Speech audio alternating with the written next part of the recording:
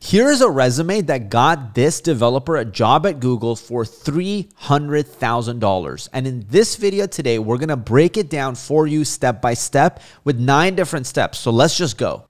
This is a Medium article written by Alexander Nguyen. So if you want to read that yourself, I've linked it down below and he's made a YouTube video on it too, which I've linked down in the description below.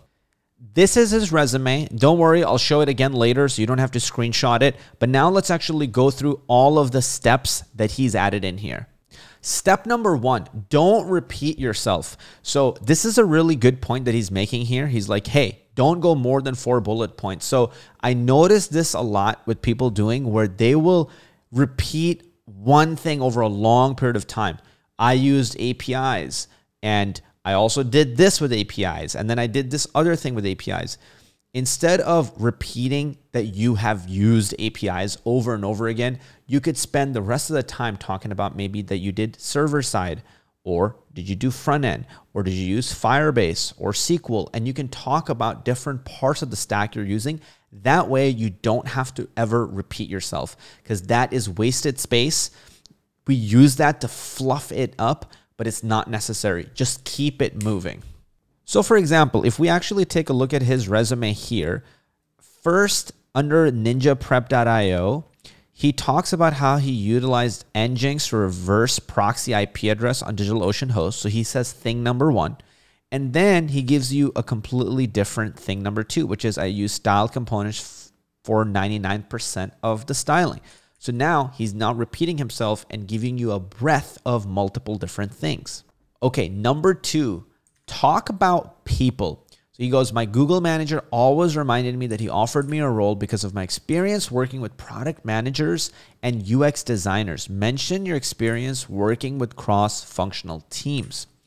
So people are hiring you because of your experience of working with others. For example, when I hire somebody on my team, not only do I need to know that you're good at creating content, I also want to know that you're good at working with other members on the team. So if I have you working with a producer of content, are you going to do a good job or not? Just like that, if I hire a software developer on my team, which I do quite often, I need to know if you can communicate with the rest of my team because I have software developers that just live in a cave, code by themselves, never actually communicate anything to anybody that causes massive problems, frictions, and bottlenecks because other people will end up duplicating the work that this developer was doing. Communication leads to massive problems. So, people on your team need to know and have experience, preferably having communicated with others. So, please, on your resume, do that as well. Number three, talk about impact.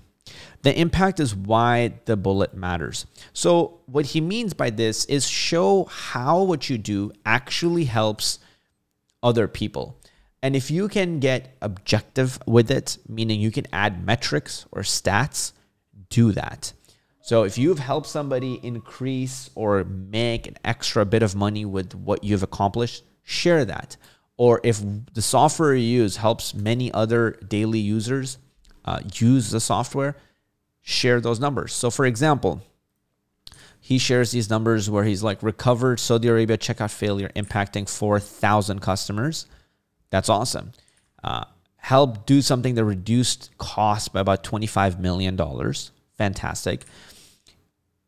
Uh, added iframes for credit cards and bank accounts to secure 80% of all consumer traffic and prevent CSRF. So, all of it is telling you specifically what he's achieved with actual objective data.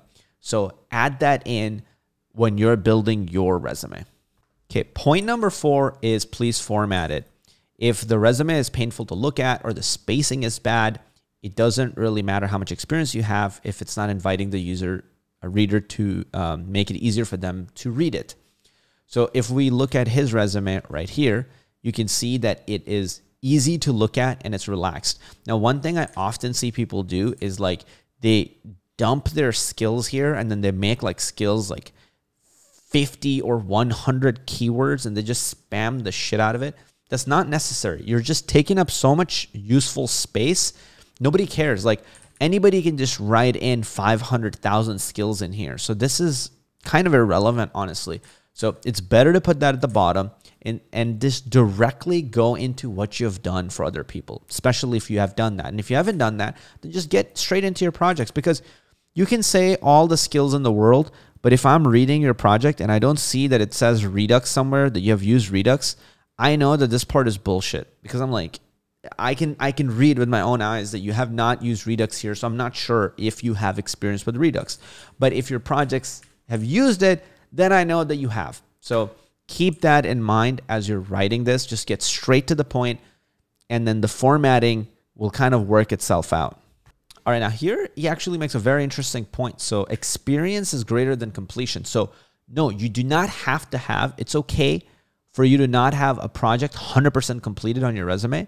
It's more important that they know that you've worked on it without it being completed. So leading a project halfway still counts as leading a project. So if you've led a project for somebody or you've done your own project and you did it halfway, don't be shy of sharing it because you can still share it. They could still look at it, the GitHub code or whatnot, and you can still talk about it in the interview. They would bring it up. So use that to your advantage.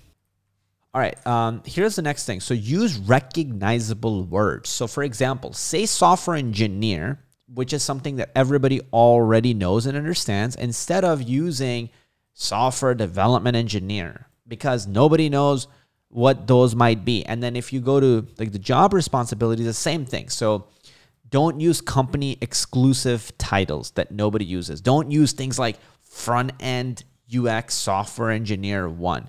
Uh, because if you work at you know Netflix or these companies, you'll be like level one engineer or level three, whatever. Those might be company specific. There aren't something globally understood. So keep it simple and just go software engineer. That's the very mindful thing to do. All right, let's keep going. So there we go. So here's an example, right? Software engineer. Just simple. Keep it simple. You don't have to keep, keep make it complicated or make it specific to each company. And this is just a global phenomenon. This is not resume specific. This is people specific using recognizable words. So when you're watching Instagram Reels or YouTube or TikTok, whatever content you're watching, you'll notice you will tend to watch simpler things faster.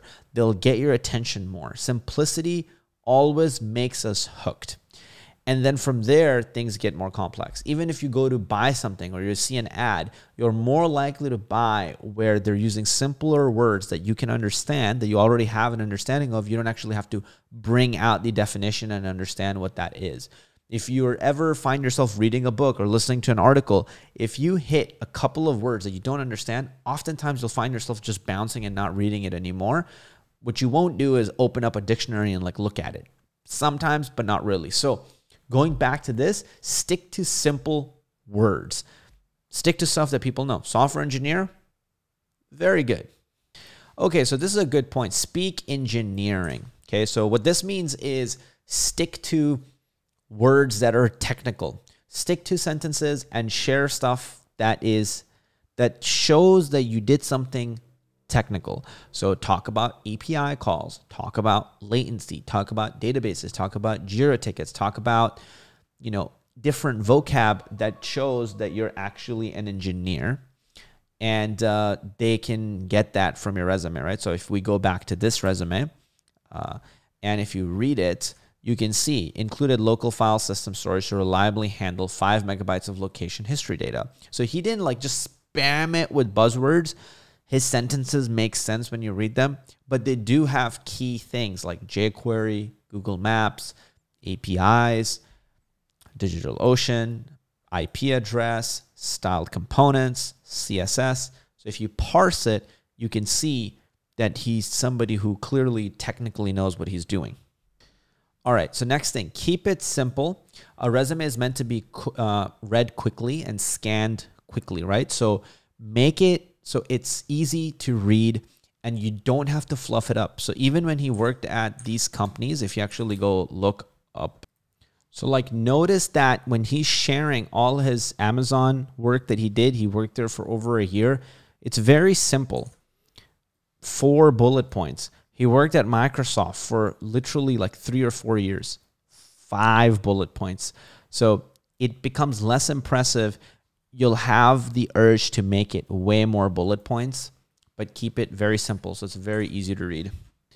All right, and uh, here's another thing important experience is greater than every experience. Okay, so for example, like if you worked at a hair salon uh, and then you worked as a, a Starbucks barista serving coffee, fluffing that shit up will not achieve anything great. But if you actually did IT, talk more about IT because that's much more relevant to you getting a job as a software developer. Why? Because you're sitting at a desk using a goddamn computer and talking to people all day. Okay. That's much more relevant than you fucking handing people a macchiato, whatever the fuck, for $10 and translating when they say large to grande or venti or whatever they fucking say, which I never remember.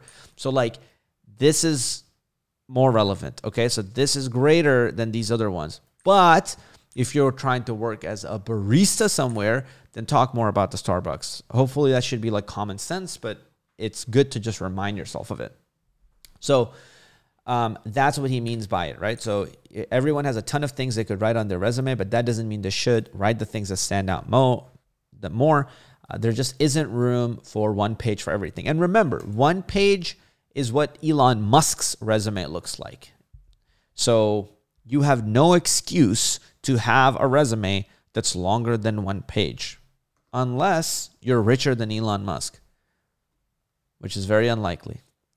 And also at that point, why the fuck are you writing a resume? Um, but uh, last thing that he says, which I think is really good, so let's touch base on that too. Your resume, the total interviews, right? It's the game of not just applications. That's one variable right here. Okay, this is like this is variable B.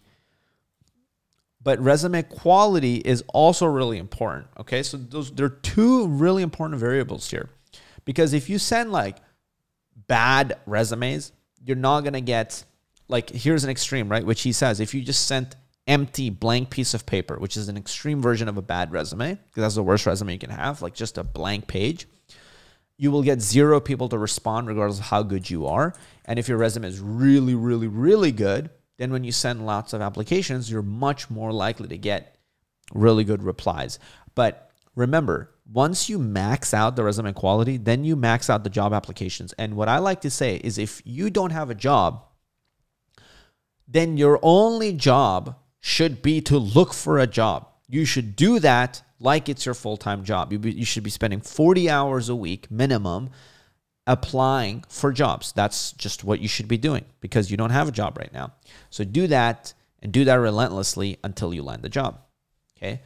Um, and there you go. Those are the nine tips for you to improve your resume and have a higher chance of getting a job at a big tech company like Google. Hope you got value out of it. Peace.